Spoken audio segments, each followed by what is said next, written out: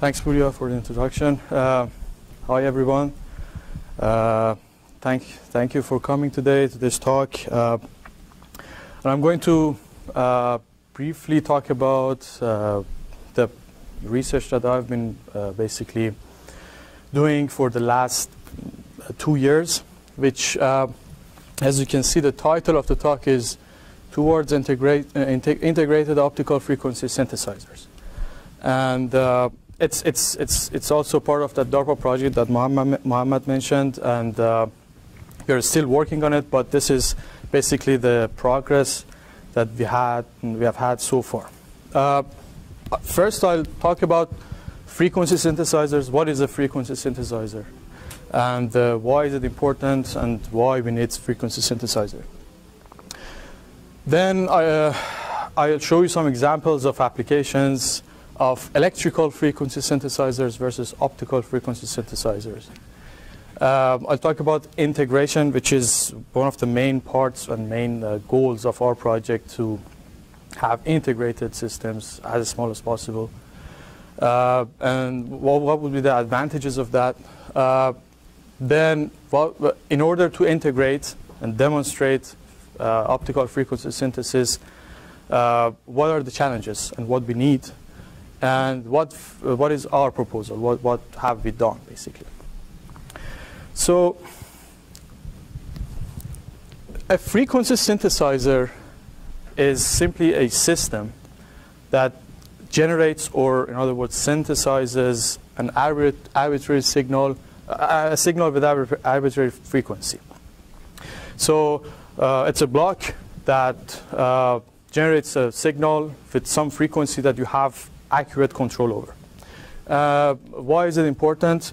So if you look at many, almost all uh, communication standards, wired or wireless, um, you can see that there, there is a frequency synthesizer. In Bluetooth, these are wireless examples, Wi-Fi, LTE, uh, optical fiber communication. We have all this. Let's look at Wi-Fi, for instance. Uh, suppose that we have a router that wants to generate, uh, a, I mean, send a signal to a mobile, mobile device, like, like a cell phone or a smartphone. So this is the router, sends a signal, and uh, basically the way that the signal is uh, encoded and sent is that we are using an RF frequency, uh, radio frequency, uh, different that has different channels, and we can send our data using uh, any of these channels. So you can see we have different channels here with different frequencies. This one is, for example, at 5180 uh, megahertz. The other one is, uh, for example, 5785 megahertz. So different frequencies. And our device, our handheld device, should be capable of receiving the signal at any of these frequencies, basically. So in order to do that, what we do is that the, the communication, the wireless communication is done in one of these frequencies, a, a high, high frequency, so-called radio frequency. But when the device receives the signal and wants to pro process this, uh, the data, for instance, uh, it could be a video, it could be a file or anything, it first needs to down convert the, the received signal to baseband frequencies, to lower frequencies, then our signal processor or DSP or whatever that the device has can process the signal. In order to do that down conversion, we need to basically have a block, which is the frequency synthesizer, to generate one of these frequencies that the router is sending the data uh, at, basically. Because the router can choose. Uh, at, at, each time may, may, may choose this frequency or this frequency or this frequency. We, may, we have to be able to uh, tune the uh, down conversion frequency in our device in order to receive the correct signal. That, uh, uh, the, uh, the, frequency tuning is done uh, using that frequency synthesizer that I talked about. Let's look at um, another application, uh, an application called gas spectroscopy. So suppose we have a chamber like this, uh, and then the chamber has an input and an output. the gas basically goes into this chamber, uh, could be composed of different types of gases. Then uh, it can go out from this valve. what we do is that while the gas is inside the chamber, you can have a laser just emitting light. Laser, as uh, uh, you heard before, it's a uh, device that generates light at a certain frequency. So there is a light with a certain frequency going into the chamber, and there is a receiver on the other side of the chamber. Uh, what happens is that different gases, based on the composition, based on the elements that they have, have different absorption frequencies, which means that if you, if, for example, let's pick one of these, which is at, uh, the, the, peak has, uh, is at uh, 4 micron wavelength. If you emit a light at that specific wavelength, most of the energy will be absorbed by the gas. So on the other side of the chamber that we have receiver, the receiver won't uh, basically detect anything. But at other frequencies, uh, because that, that this black gas uh, doesn't have any absorption, we, we receive a high power. So basically, if we can have a laser and then change its wavelength from this, this number to this number continuously, and look at this, the signal received by this receiver, we can basically determine at what wavelengths we have the highest absorption, and as a result, we can uh, understand or we can figure out what are the different types of gases that we have inside the chamber. Because we already have this uh, lookup table or graph that we look at it. If we have high absorption that at this wavelength uh, we, we, say okay we have this type of gas. It's at lower wavelengths we have that type. so in order to do this, as I said, we have to basically generate a light, a signal, and control its wavelength, or in, other words, frequency, accurately, and sweep that frequency over a specified uh, range, and then look at the output of, output of our system. So here also, our, our oscillator, our signal generator is optical signal generator. It's a laser. The output is not uh, electrical like what I said about Wi-Fi uh, example. But this is also an, uh, basically oscillator that we need to have control over the frequency. So this is also some sort of frequency synthesizer. It's optical frequency synthesizer because it's a block that we can basically uh, control its frequency, which is very much higher than our radio frequencies. It's optical, but still we can synthesize different frequencies. So these are uh, these two are basically two uh, examples of uh, frequency synthesizers and one, why they're important and how we can use them. Uh, but the, the, optical frequency synthesizers exist, and uh, uh people have done that before. But uh, all the implementations were so-called benchtop, which means that in a lab, like this picture, uh, which is a famous work, uh, this is an optical synthesizer. You can see the scale of this, this picture. This is, if this is 25 centimeter, you can see how big this is. So um, it works really well, but the problem is that you cannot use it wherever you want because first of all, it's high power, it's very large, uh, certainly it's expensive, so it's difficult to use it in different applications and different places. So if we can integrate the whole thing and make it a smaller like this chip, uh, or a, couple of these chips, basically, you can you can compare the scale of these two. So this is a millimeter, this is many centimeters. So orders of magnitude, a smaller uh, system can be uh, implemented. The cost would be a lot uh, lower because right now we have access to fabrication processes, semiconductor fabrication processes that you can have thousands or millions of these chips for, for, relatively, for a relatively low cost compared with this benchtop uh, implementation. Uh, as I said, the power consumption would be a lot less and uh, it's easier to use it in different systems like mobile systems. Uh, so I talked about the Wi-Fi. If you want to have some, uh, for some sort of application, just assume that you want to have the optical frequency synthesizer in a handheld or mobile device then uh, obviously this is not a solution. So you have to integrate. So this is the uh, motivation and uh, as of now, no one has integrated such a system, fully integrated such a system on uh, like these, basically using integrated circuits.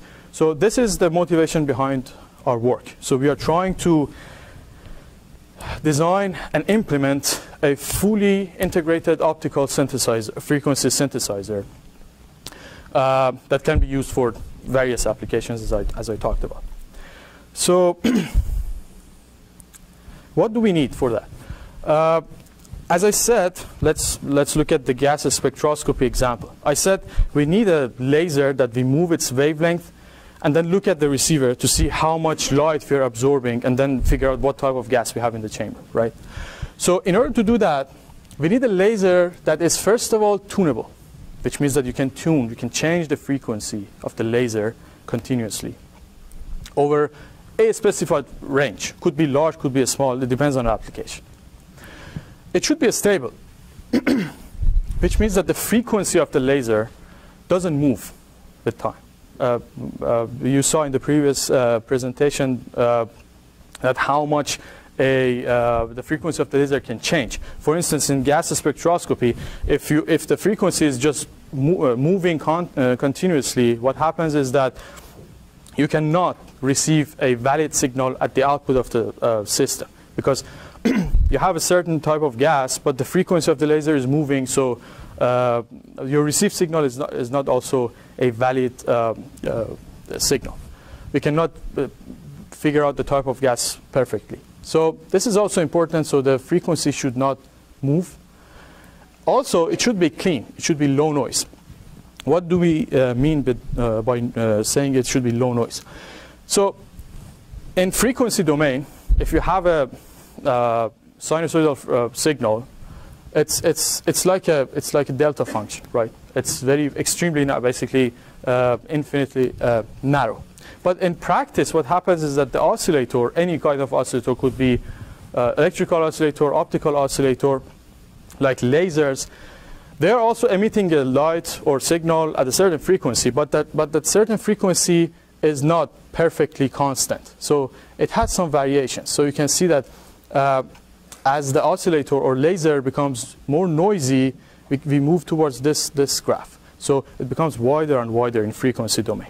So we don't, need, we don't want this because, again, let's look at gas spectroscopy. Let's, let's assume that we have two gases with absorption wavelengths very, very close to each other.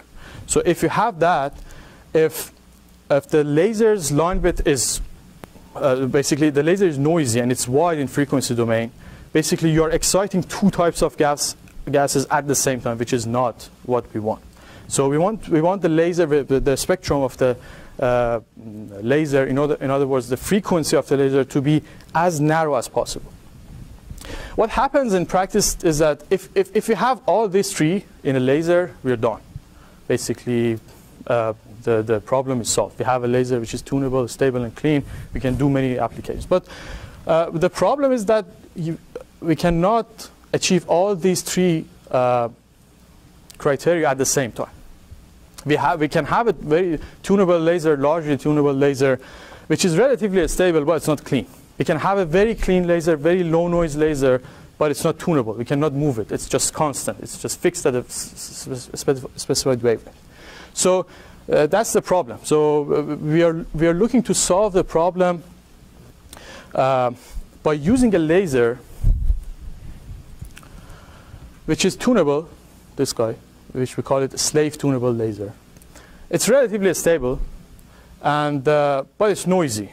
Uh, if, if, you look at the spectrum of the laser, it's very wide, as I showed in the previous uh, slide, which is not desirable. So, but, but we can do one thing. We can use it as a slave laser and use another laser as a reference laser, which is very, very uh, clean and very stable, but it's not tunable. Just fixed at a specified wavelength.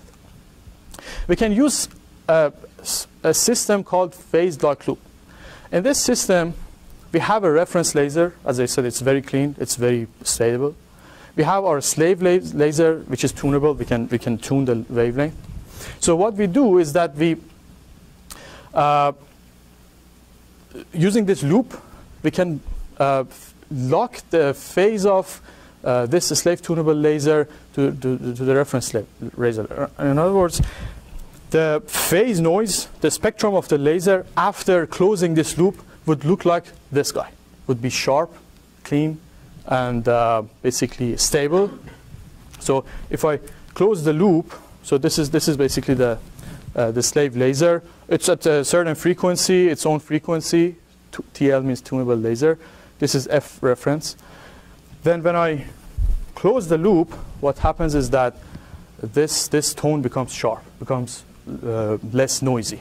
How is it done? It's basically this error detection block looks at the difference between these two. If there is any error, uh, it generates a signal that in the laser driver or error correction block, basically, which is connected to the laser, can correct for the error that exists. So as the you go around the loop, uh, many times this this guy becomes fat, uh, uh, thinner and thinner instead of being noisy. So it becomes less noisy. And then we have one more knob here, which is called frequency fine tuning. By using this frequency fine tuning, you can move the frequency of the laser but by a certain amount. So we have achieved what we want. So we needed a tunable laser, which we could, uh, if we had a tunable laser, we can uh, tune it with this uh, frequency fine tuning knob. We need it to be stable and clean, and because it's locked to this reference laser, it's stable and clean. So all those three uh, requirements are met using this, um, this architecture. But there is a problem here. Uh, as I said, that depending on the application, we may want to move the wavelength of the laser for a specified range. Could be megahertz, could be gigahertz, could be terahertz, different ranges depending on the application.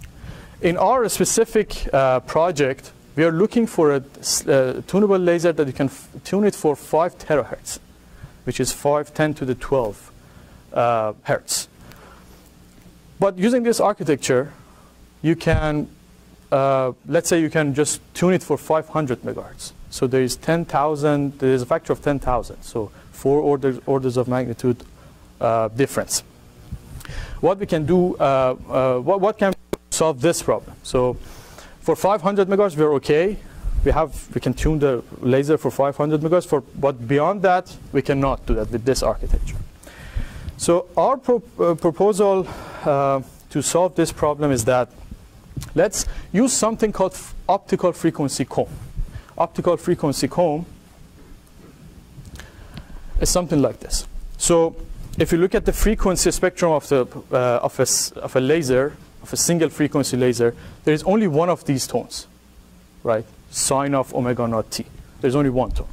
But this optical frequency comb is somehow generated that if you look at the spectrum of the, uh, the laser, you see multiple tones equally spaced. So in this, is, in, in this specific example, if you look at this, I have 14 tones which are uh, similar. The spacing is 500 megahertz. So if, if I use this as a reference, what can I do? Let's assume I, I, said that with the previous structure, I only can tune the frequency of the laser for 500 megahertz. So I, for 500 megahertz, I'm good. So if I want to do it for 5.8 gigahertz, what happens? I can write 5.8 gigahertz as this, 11 times 500 megahertz plus 300 megahertz. So if I go 11 500 megahertz and then 300 megahertz, I can cover 5.8 gigahertz. Let's see what we can do. So this is the uh, initial frequency of the laser. It's here, right? Just randomly, I just put it there. Uh, then what I do is that and this is our final frequency. It should be here. So if, if the spacing is 500 megahertz, you can see that you have, you should go to this point to get 5.8 gigahertz tuning.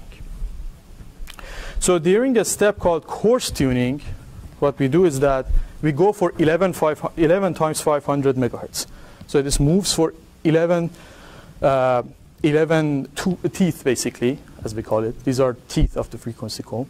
So we have uh, move the laser for 11 teeth. So the frequency tuning have uh, so far is 5.5 gigahertz, 11 times 500. Then we have a fine tuning step.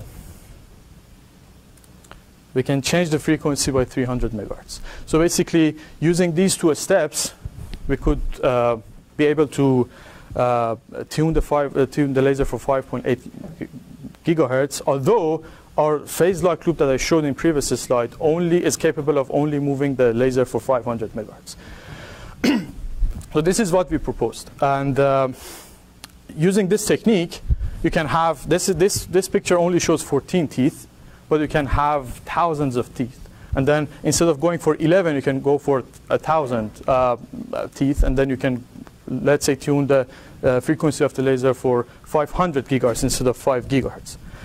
Uh, yeah, so this is this is what we did. This is the actual uh, uh, block diagram of our our, our system. Basically, this is our reference laser, which I showed you. This is a frequency comb instead of being a single frequency laser. We have a slave tunable laser. We look at the difference. We process that signal. Uh, this, this path does the fine tuning. This path does the coarse tuning, just counts for, uh, in, in previous example, 11 teeth. And then we inject the error signal to the uh, slave laser so we can tune it for, for any range that we are uh, looking for. And then what we did is that we just integrated this whole system uh, except for this uh, coarse tuning, this, this part. So we have optical structures, photonic structures, we have electrical components, we have amplifiers, we have mixers, different things. Then the whole thing is on a single chip, which is uh, one by two millimeters in, in dimension. So if you can, if you want to implement it on uh, basically in a lab using benchtop implementation, would be um, much much larger and much more uh, power hungry. Uh, so just to show you what happens in uh, practice, these are actual measurements, uh, very similar to previous slide that I showed you. This is the frequency comb. There are many, many uh, teeth uh, that is generated as our reference laser. Are, may be difficult to see, but this is our tunable laser. It's, this is the initial position or frequency of the tunable laser with respect to the comb. And then we want to go to this frequency, as, as I showed you. This is more number of teeth. In, instead of 11 teeth, this is, uh, I think, 25 teeth. So 25 times 500, it's about 12 gigahertz instead of 5 gigahertz. Then what happens is that the laser is here. We start the process very fast. It, it goes to the, to the next position. So the, in this in the, this picture, basically, this is the electrical spectrum of the laser. You can see it's much sharper. If if you don't do what I said, basically you, you see something very broad, which means that the laser is very noisy. But after doing this, the laser is uh, locked to this very sharp comb teeth, and then as you uh, move the laser through these comb teeth, it remains locked, phase locked in that uh, that I showed you, and becomes stable. Uh, uh, less noisy, and then tunable. So this is what we have done so far. Uh, obviously, in order to have fully optic, fully integrated optical synthesizer, we are still uh, working on it. There are other blocks that, need, that we need to integrate. We need to make chips. But the main part of the synthesizer, which was the phase lock loop that I showed you, has already been integrated, and um, this is basically how it works. Thank you for your attention. Uh, I would be happy to take your questions.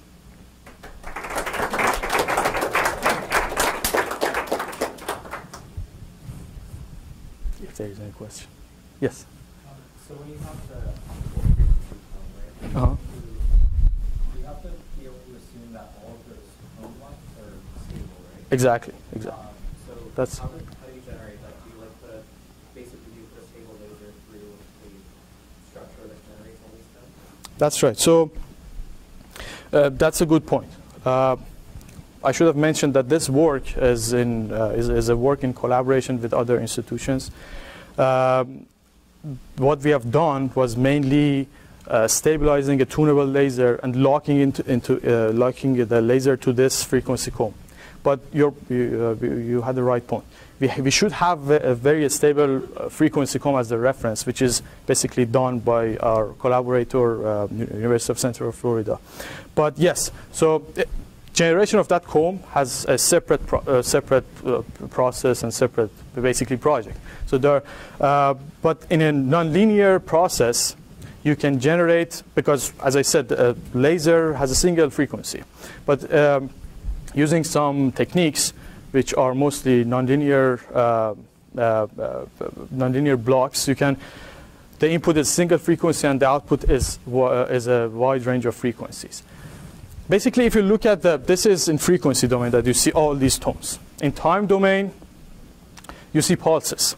So the Fourier transform of a pulse in time domain, uh, in frequency domain, is basically very wide and consists of many tones. Yes. So generation of the frequency comb is uh, a different process, and uh, we're assuming that we have a very stable and very stable comb, which means that none of these guys move. Also, they're very clean as well. We're assuming that we have that, and then based on that, we can generate our tunable signal. Yes. Yes.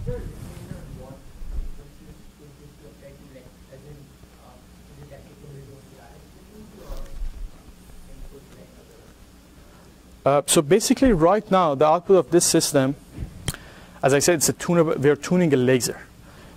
In our specific design, the output uh, frequency of the laser is hundreds of terahertz. It's very large because uh, in this, yeah, so this is the output of this laser is the very output of our system. So the, frequency of our system, that, uh, the, the, output frequency of the system depends on the frequency of this laser, which in this case is hundreds of terahertz. It's 200 terahertz. But yes, if you replace this tunable laser and replace this uh, reference laser with uh, a frequency that you like for, for any application. It could be, instead of 200 terahertz, could be 1 terahertz. This, this loop still works.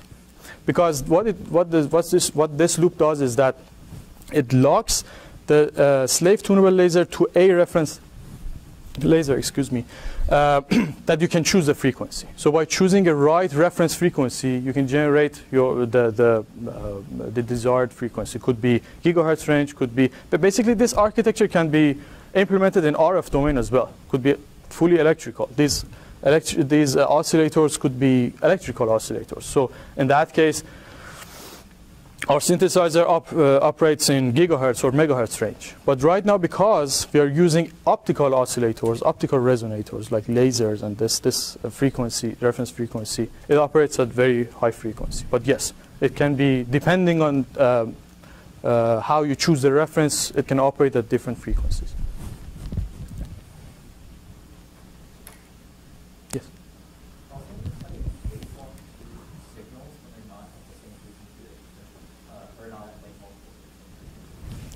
So in this specific case, the frequencies of the frequency of this laser is very close to this frequency. So I showed you that before locking, the frequency is FTL, right?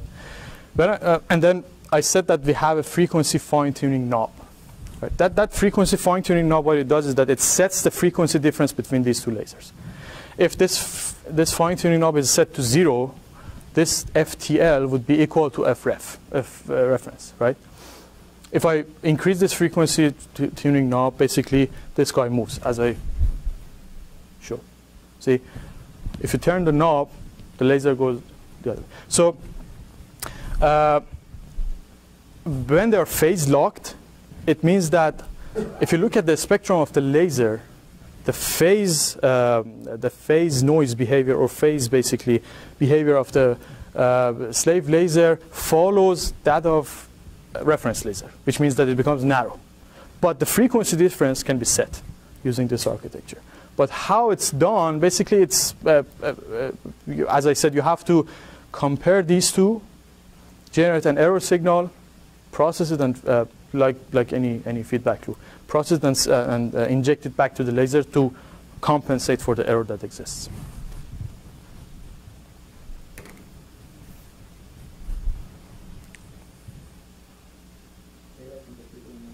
Thank you.